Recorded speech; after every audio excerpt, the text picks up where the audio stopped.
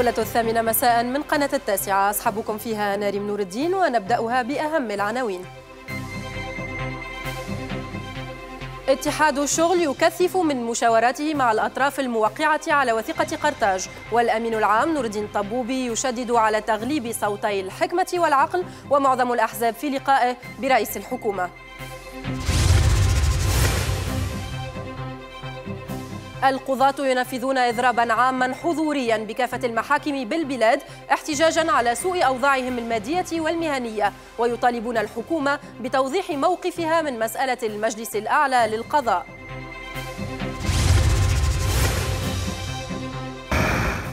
صندوق النقد الدولي يقرر تأجيل القسط الثاني من القرض والحكومة تدرس تسريح عشرة آلاف موظف وبيع حصص في بنوك عمومية.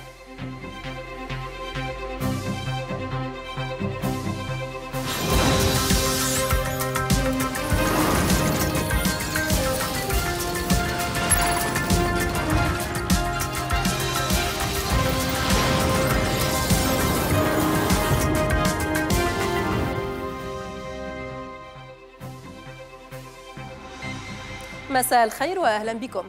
شدد الأمين العام للاتحاد العام التونسي للشغل نور الدين طبوبي إثر لقائه صباح اليوم برئيس الحكومة يوسف الشاهد على ضرورة تغليب روح المسؤولية من قبل جميع الأطراف، مؤكدا أن تونس لا تحتمل أي توترات إضافية وأن صوتي الحكمة والعقل هما أساس نجاح المرحلة.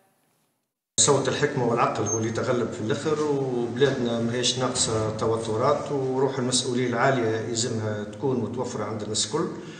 وإن شاء الله نقول في الأخر دائما وأبدا تونس هي اللي تبقى ديما منتصرة. للحديث أكثر عن هذا اللقاء ينضم إلينا كاتب الدولة للنقل السيد هشام بن أحمد. مساء الخير سيدي. مساء الخير.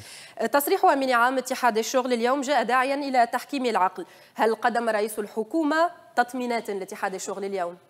بارك الله فيك. إحنا الحقيقة نفرحوا معناتها كي نسمعوا السيد رئيس الأمين عام اتحاد الشغل يتحدث بالطريقة هذه لأنه إحنا كحكومة وحدة وطنية أهم شيء بالنسبة لنا إحنا هو الحوار وأهم شيء بالنسبة لنا إحنا هو معناتها ال ال معناتها اليوم التقدم بتونس والنهوض بها بالنسبة لنا إحنا في السنوات الجاية مع الناس الكل مع بعضها وهذه هي نقصد به حكومة وحدة وطنية.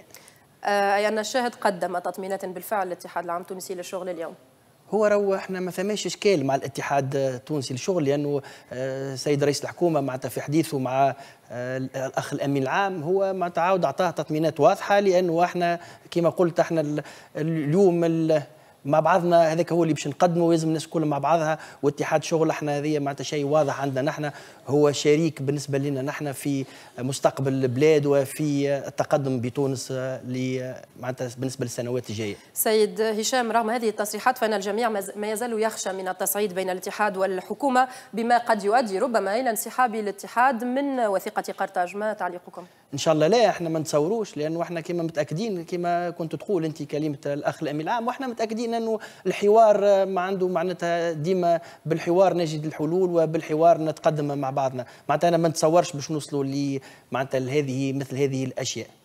أه سيدي هل كان من الضروري حسب رأيك تعويض نقابي بعضو من منظمة الأعراف؟ ألم تكن رسالة تصعيد إلى الاتحاد؟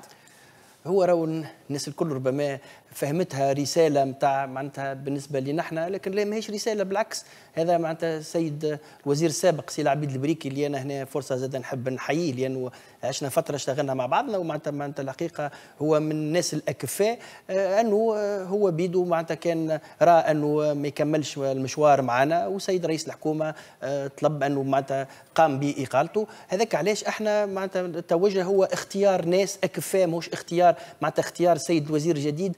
مش اختيار معناتها كما البعض يقولوه هو اختيار إنه بعدنا الاتحاد وشاركنا اتحاد التونسي للصناعة والتجارة والصناعة. بالعكس هذه هذا إنسان كفء كفء معناتها السيد الوزير الجديد وإن شاء الله باش يقوم بمهمته كما كان يقوم بها سي العبيد وإن شاء الله معناتها هو بيدو ينجح في المهام نتاعو لكنها تبقى النقطة الأبرز التي يعترض عليها اتحاد الشغل من ناحية أن سيد خليل الغرياني هو رجل أعمال سيهتم بالوظيفة العمومية وسيقود المباحثات والمشاورات مع الاتحاد في مطالب الموظفين العموميين.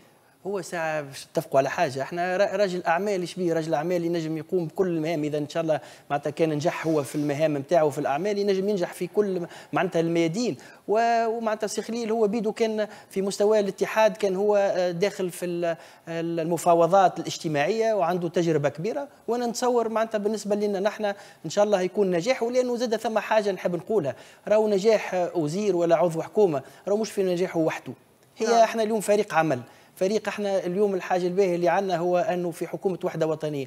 راهو معناتها ثم حاجة مهمة اللي ما كناش ربما نتصوروها في أعوام معناتها آه، سابقة انه معناتها كل هذه الأطياف تتلم مع بعضها وتتحدث مع بعضها وتتحدث بما هو مستقبل تونس. هذا شيء آه، معناتها المهم. والناس الكل معناتها من هياكل ولا أحزاب ولا ولا نحن كما أعضاء حكومة اليوم معناتها مع بعضنا متفائلين ومع بعضنا نحبوا نرجعوا الأمل لتونس وهذا هو بالنسبة لنا أهم ميساج معناتها نحبوا نقولوه للتوانسة. نعم، لا يخفيكم سيدي كاتب الدولة أن الأحزاب المعارضة عبرت جميعا عن احتجاجها على هذا التحوير والأهم من ذلك الأحزاب الموقعة على وثيقة قرطاج التي تطلب اليوم توضيحات حول هذا التحوير الذي لم تستشر بشأنه.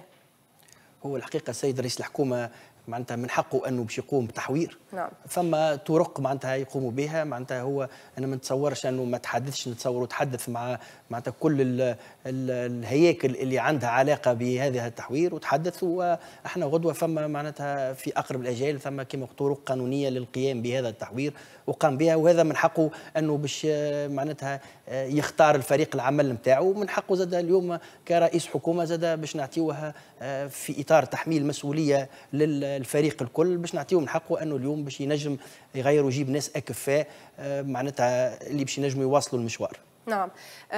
فلننتقل إلى الحوار الصحفي الذي أدلى به السيد رئيس الحكومة أمس. ما هي الرسائل التي أراد توجيهها خاصة آه، فيما يهم الوضع الاقتصادي وما أشار إليه من بيع حصص في البنوك العمومية بالذات؟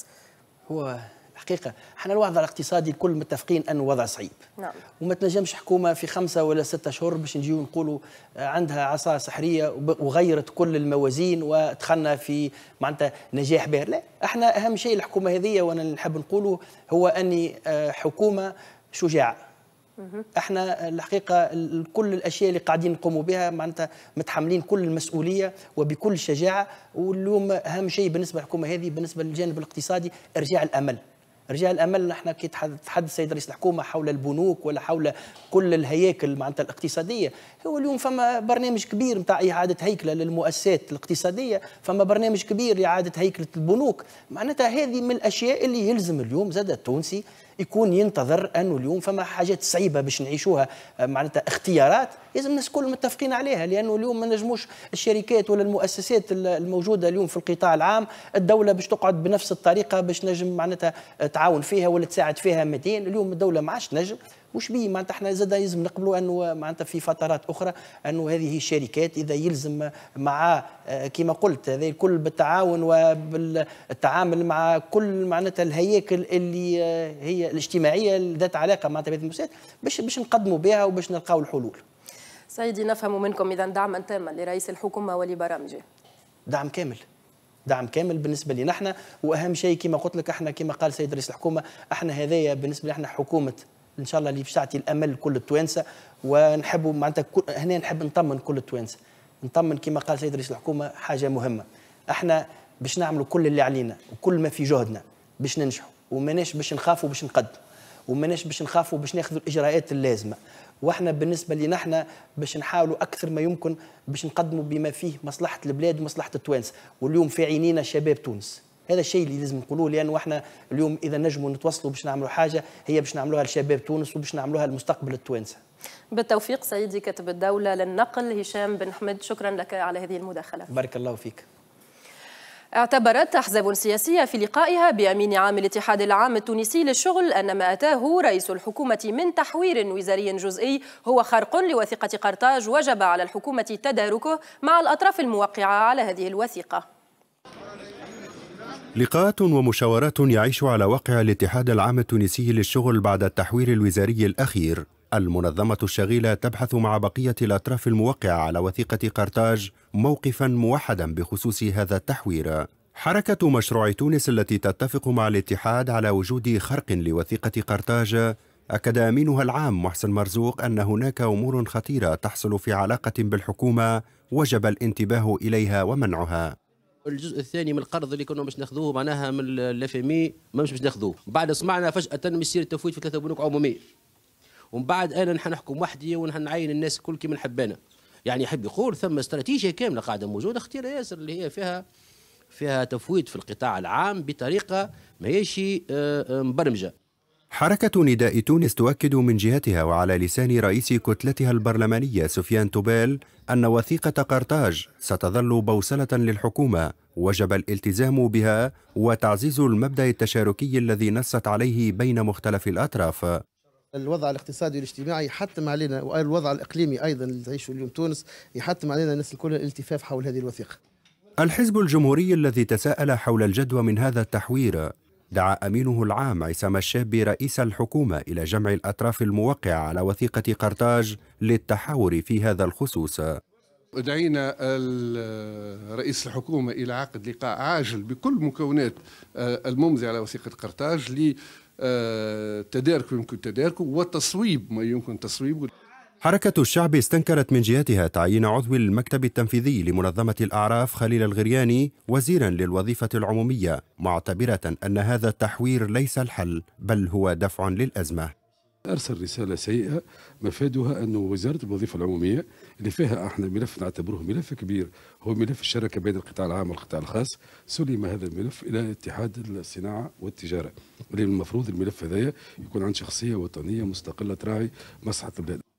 خرق لوثيقة قرطاج وبعث رسائل عكسية. استنتاجات كشفتها معظم الأحزاب الموقعة على وثيقة قرطاج في علاقة بالتحوير الوزاري الأخير وطرحت في لقائها بيمين عام اتحاد الشغل أسئلة حول جدوى هذا التحوير أسئلة تنتظر أجوبة من رئاسة الحكومة. نشرتنا هذه مستمرة وتتابعون فيها. اختتام مهرجان ذبذبات الصحراء في نسخته الأولى وسط حضور جماهيري مهم.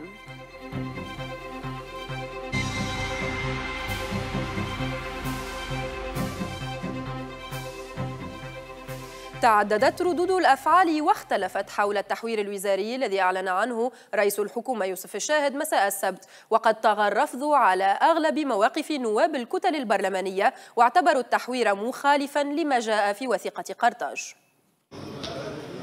إدخال رئيس الحكومة تحويرا وزاريا دون سابق إعلام أو تشاور مع الأطراف الموقعة على وثيقة قرطاج أثار ضجة واسعة لدى أغلب الكتل البرلمانية الأخرى. الجبهة الشعبية اعتبرت أن هذا التحوير رسالة مشفرة.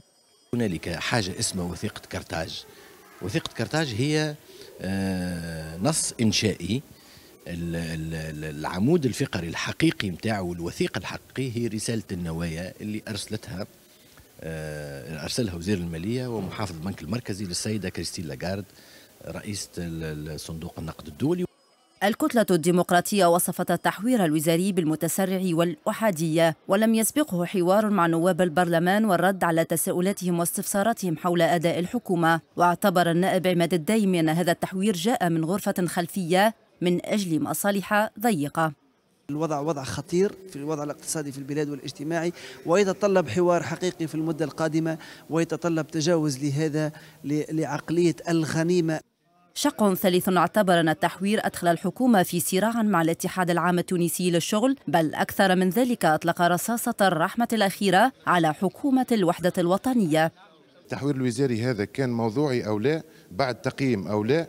آه الظاهر أنه كان رد فعل على ما صرح به آه السي عبيد البريكي آه وعبر على نيته في الاستقالة. ما أجمع عليه الأغلبية أن تغيير وزير الوظيفة العمومية والحوكمة بممثل عن منظمة الأعراف هو شروع الحكومة في تنفيذ سياسة تصفية القطاع العام وخوصصة لعدد من المؤسسات الوطنية على غرار البنوك. صرح الناطق باسم الحكومة إياد الدهماني اليوم أن الحكومة ساعية لدعم حرية التعبير وترسيخها وتم الاتفاق على مراجعة الأمر 4030 الصادر في 2014 وبالتالي تعليق العمل بالمنشور عدد أربعة. كانت اليوم فرصة للقاء آه، في رئاسة الحكومة مع الهياكل الممثلة لقطاع الإعلام. كانت فرصة باش أكدنا في الحكومة على التزامنا بحرية التعبير بحرية الصحافة وطرقنا كذلك طبعا أكيد لهذا اللي نسميه أنا سوء التفاهم المربوط بالمشهور عدد أربعة. اتفقنا على مراجعة الأمر عدد 40 30 لسنة 2014 تبعا لذلك تعليق العمل بالمشهور عدد أربعة لسنة 2017 اللي بديهيا يتم إنهاء العمل به آليا بصدور الأمر الجديد. نفذ القضاة إضرابا عاما حضوريا بكافة المحاكم بالبلاد بدعوة من جمعية القضاة التونسيين احتجاجا على عدم استجابة الحكومة لمطلب القضاة بفتح باب التفاوض حول وضعهم المادي وتردي ظروف العمل بالمحاكم إضافة إلى مشكلة المجلس الأعلى للقضاء حيث وصفت رئيسة جمعية القضاة التونسيين روضة القرافي التطورات المتعلقة بإرساء المجلس الأعلى للقضاء بالمريبة خاصة خلال الساعة الأخيرة مشيرة إلى أن المسألة تتسم باللخبطة وتتطلب التوضيح من قبل السلطة التنفيذية. إضراب عام حضوري نفذه القضاة بكافة المحاكم بالجمهورية وذلك ردا على ما اعتبروه سياسة التهميش الممنهجة لمنظومة القضاء من قبل حكومة الوحدة الوطنية التي لم تستقبل أي هيكل قضائي منذ توليها المسؤولية إلى جانب تجاهلها للمطالب المادية والمهنية العالقة حسب جمعية القضاة التونسيين. اليوم اللي حاصل يعني شيء غير مسبوق. ستة أشهر من نطلبوا باش نقابلوا باش نتح... باش نطرحوا المسائل المتعلقة بالشان القضائي في المسائل المتأكدة سواء بالنسبة للظرف المادي للقضاة ولا ظروف العمل بالمحاكم اللي تم شروط المحاكمة العادلة اللي يطلبها. وقت اللي يجي التونسي في المحكمة يطلب معناتها شروط المحاكمة العادلة. المحاكم باتت قصة معاناة لكل روادها من قضاة ومواطنين حسب نائب رئيس جمعية القضاة بسبب نقص التجهيزات والمسائل اللوجستية ووضعية بعض المحاكم التي أصبحت آيلة للسقوط رغم الهبات التي تحصلت عليها الدولة بهدف تحسينها وفق المعايير الدولية. بعد الثورة معناها حجم العمل آه، تزايد وتضاعف لمرات ومرات المحاكم في حين أنه آه، عدد القضاة وعدد الإطار آه، الإداري القضائي معناها ما تضافش. لقينا أنفسنا في حالة شبه استحالة من أداء مهامنا في أفضل الظروف. زيد الأعباء المادية زاد كذلك على السادة القضاة اللي نأكد لك اللي أغلبية القضاة معناها يصرفوا على مهنتهم من أجيابهم. يذكر أن إضراب القضاة جاء بناء على قرار الجلسة العامة ليوم التاسع عشر من فيفري الجاري والذي أكد فيه القضاة على التصعيد والقيام بتحركات مستقبلية في صورة عدم الاستجابة لمطالبهم. قالت وزيرة المالية لم يزريبي إن بيع حصص في البنوك العمومية وتسريح عشرة آلاف من الوظيفة العمومية لا تزال إلى الآن سيناريوهات مطروحة للنقاش مع الحكومة. كما أكدت أن الدولة تدرس حاليا التفويت في الأملاك المصادرة والتي تبلغ قيمتها 300 مليون دينار. بعد قرار صندوق النقد الدولي الأخير تجميد القسط الثاني من القرض المقدرة قيمته ب 2.5 مليون يورو نتيجة تباطؤ الإصلاحات المقرر تنفيذها. قالت وزيرة المالية لوكالة رويترز بأنها لا تستبعد بيع حصص بالبنوك العمومية وتسريح موظفين عموميين بصفة اختيارية. هو الموضوع رفض صندوق النقد الدولي القسط الثاني والثالث هو موضوع غلط اللي تم هو أنه آه تم صرف قسط اول بالنسبة لهذا البرنامج في جوان 2016 ثم في ديسمبر 2016 تم تأجيل القسط الثاني. من بين الفرضيات هو تفويت الدولة في آه في آه في منابها معناها في هذه البنوك. لكن كل هذه المواضيع على الطاولة اليوم وفما فكرة كبيرة لإعادة نظر حول تموقع الدولة في هذه البنوك قاعد المبكر بصفة اختيارية. هو هذا كنشوفوه جاء في إطار برنامج كامل لإصلاح الوظيفة العمومية.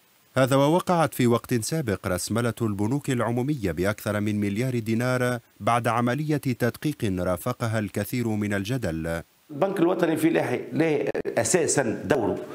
عملوا ما عملوش هذاك في نقاش أساسا هو قطاع الفلاحي وبالنسبة لبنك الإسكان أساسا قطاع الأعمار والتعمير والبناء ومعناها السكن الاجتماعي وما إلى ذلك.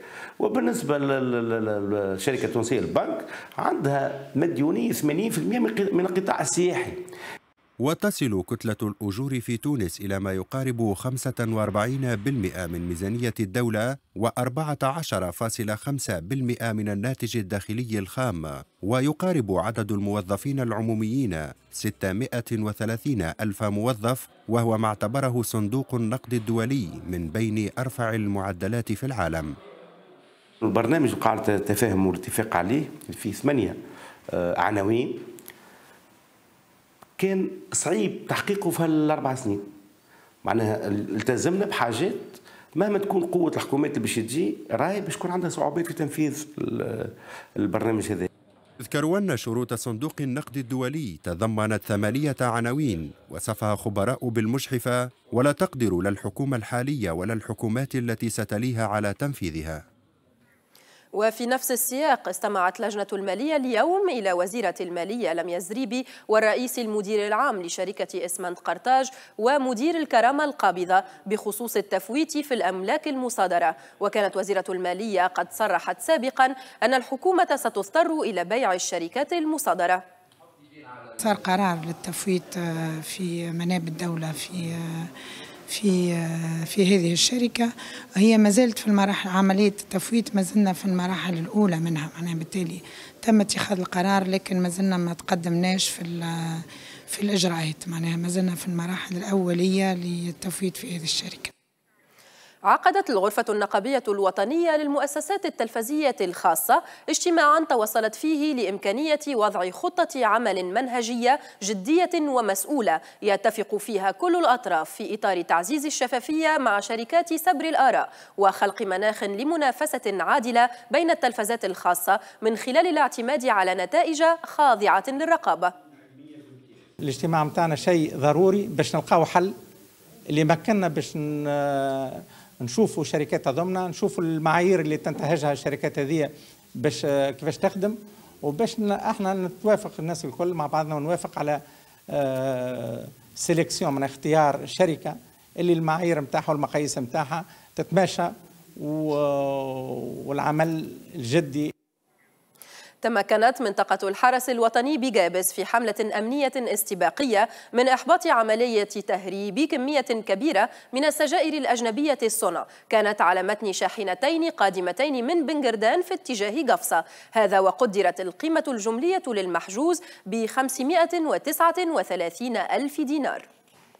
تمكنت منطقة الحرس الوطني بجابس من إحباط عمليات تهريب خلال اليومين الأخيرين اللي هم نهار 25 و 26 2 2017 من حجز كميات هامة من السجائر الأجنبية اللي تعد 31750 علبة سجائر أجنبية كذلك كمية من مادة المعسل والجيراك 360 كيلوغرام من مادة المعسل 560 كيلوغرام من مادة الجيراك في وسائل مختلفة. اختتمت فعاليات مهرجان ذبذبات الصحراء في نسخته الأولى والتي تواصلت على مدى يومين بسفح جبل الطباقة بالمدخل الشمالي لمدينة قبلي تحت شعار لنحتفل للسلام أصدل الستار على فعاليات تظاهرة ذبذبات الصحراء في دورتها الأولى تحت شعار اقبلي تحتفي بالسلام من أعلى جبل طباقة في رسالة للعالم مفادها أننا بالثقافة نحارب الإرهاب. الدورة امتدت ليومين كانت خلالهما قبلي عروساً. تظاهرة ثقافية تنضاف مرة أخرى للمشهد الثقافي في ولاية قبلي. كما نعرف تقريبا التظاهرات هذه تقتصر على مواسم معينة. حبينا اليوم نكسروا السائد والنمطي والمألوف. تظاهرة شبابية بامتياز. يدل هذا على أن طاقات شباب قبلي هي واعدة وإذا لقت الإمكانيات المتوفرة تصنع المستحيل. الدورة حظيت بمواكبة جماهيرية من داخل تونس ومن خارجها مع الإجماع على أهمية مثل هذه التظاهرة في دعم السياحة الصحراوية في جهة تسخر بعديد المقومات التي تؤهلها أن تكون قطباً سياحياً مهماً. المهرجان اليوم تفردنا بالكدا فما برشا تظاهرات اليوم وحاجة تفرح. نشوفوا قبلي معناها متحركة والعباد الكل تشكو في المهرجان. أنا جيت خصيصا معناها من من أوسلو. أتمنى أن أزور المهرجان مرة أخرى السنة القادمة وأن ألاقي عددا أكثر من السياح لأنني أرجو أن تعيد تونس كل سياحها. هذا وشهدت التظاهرة معارض للصناعات التقليدية جسدت إبداعات حرفيي الجهة فكانت دورة ثرية في نسختها الأولى حسب الحضور من شأنها أن تؤسس لدورات قادمة أكثر ثراء على مستوى التنظيم والفقرات. إلى جولة سريعة الآن في أخبار العالم. أعلن ما يعرف بتنظيم الدولة الإرهابي مسؤوليته عن الهجوم الذي استهدف مركزا للشرطة في مدينة قسنطينة شرق الجزائر حيث قامت قوات الأمن الجزائرية بإحباط الاعتداء. قصفت القوات السورية مدينتي دوما وحرستا شرق دمشق مخلفة عشرة قتلى على الأقل بالإضافة إلى غارات جوية على حمص. خلفت ثلاثة قتلى فضلا عن الخسائر المادية جراء الانفجارات. يأتي ذلك تزامنا مع اقتراح ممثل الأمم المتحدة ستيفان دي مستورا على الأطراف المتفاوضين حول الأزمة السورية العمل وفق انتخابات ودستور جديد. تمكنت القوات العراقية ضمن مساعيها لاستعادة الموصل من قبضة التنظيم الإرهابي من السيطرة على موقع الجسر الرابع الذي يصل بين الجانبين الشرقي والغربي للمدينة بينما غادر الآلاف من المدنيين العراقيين غرب الموصل. هاجمت مرشحة اليمين المتطرف للانتخابات الرئاسية الفرنسية مارين لوبين وسائل الإعلام الفرنسية واتهمتها بالقيام بحملة دعائية لصالح منافسها الوسطي إيمانويل ماكرون الذي يليها في نوايا التصويت بينما ندد مرشح اليمين فرانسوا فيون بسلبية الحكومة في مواجهة العنف. إلى أخبار الرياضة الوطنية والعالمية مع بشير القروي. مساء الخير بشير. مساء الخير مساء الخير مشاهدينا ومرحبا بكم إلى هذا الموعد الرياضي.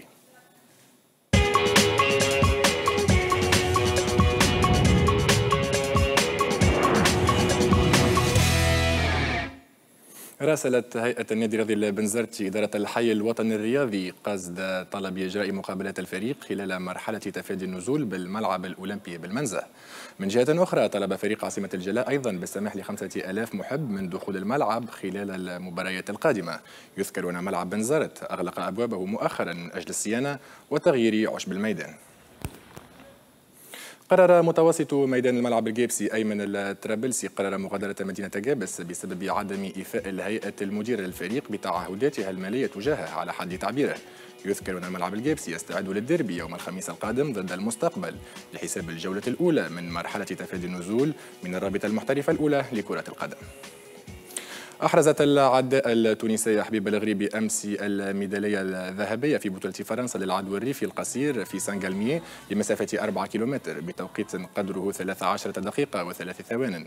للإشارة فإن حبيب الغريبي عانت مؤخرا من العديد من الإصابات أبعدتها عن المنافسات. يواجه غدا لاعب التنس التونسي ملك الجزيرة المصنف السابع والأربعين عالميا المصنف رقم واحد البريطاني أندي موغي في الدور الأول من بطولة سوق دبي الحرة المفتوحة للتنس. وستكون مواجهة الغد الأولى بين الجزيري والبريطاني موري ضمن المسابقات الرسمية. جولتنا العالمية نستهلها بالحديث عن الدوري الإيطالي حيث تدور بعد قليل ولحساب الجولة السادسة والعشرين مباراة فيورنتينا وضيفه فريق تورينو على ملعب أرتاميو فرانكي. وفي مباراة أخرى من الدوري الإنجليزي الممتاز يستقبل أو لحساب الجولة السادسة والعشرين يستقبل ليستر سيتي فريق Reds ليفربول صاحب المركز الخامس. وختاما لكم موعد بعد قليل مشاهدينا مع برنامج التاسعة فوت الذي سيتناول بالتحليل العديد من المواضيع الرياضية. وعودة على مجريات الجولة الأولى من مرحلة البلاي أوف وختاما نشكركم مشاهدينا على حسن المتابعة والاهتمام. عودة معي شكرا لك بشير. لم يبقى لي إلا تذكيركم بما جاءت فيه النشرة من عناوين. اتحاد الشغل يكثف من مشاوراته مع الأطراف الموقعة على وثيقة قرطاج والأمين العام نور الدين طبوبي يشدد على تغليب صوتي الحكمة والعقل.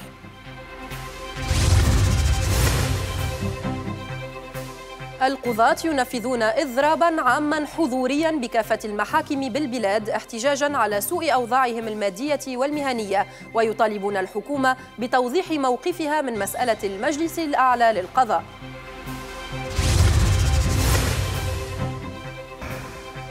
صندوق النقد الدولي يقرر تأجيل القسط الثاني من القرض والحكومة تدرس تسريح عشرة آلاف موظف وبيع حصص في بنوك عمومية. شكرا لكم على حسن المتابعة وإلى اللقاء.